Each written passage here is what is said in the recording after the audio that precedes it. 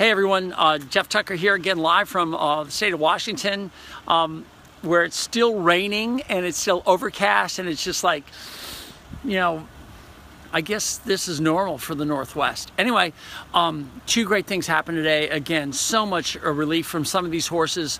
One horse is in so much pain. Uh, to take it away, I know these horses are going to go great tomorrow. I'm going to get great feedback on them tomorrow.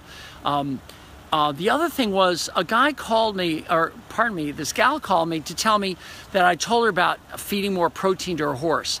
And it was really cool because um, uh, the, um, let's see, uh, the horse was on death's doorstep and uh, I'm getting all these texts in the middle of this thing. Sorry about that.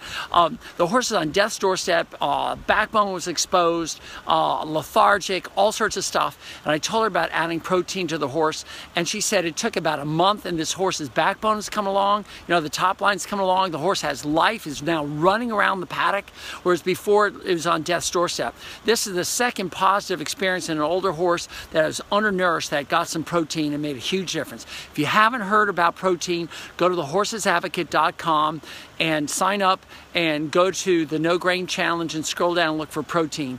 I've got to get a link called the, uh, the horseadvocate.com forward slash protein. I got to get that up tonight. I think I'll do that.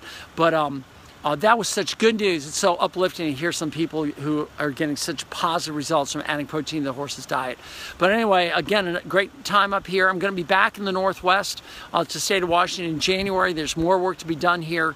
Uh, so uh, with that, I'm going to leave you. Look how dark it is. It's not even 5 p.m. here. It's just it's just it's crazy i'm just used to green and sunshine um, but i'm going to be back because i love the people here i love the horses it's such a great place to be uh, for horses so um, that's all I got to say. Talk to you later. Bye.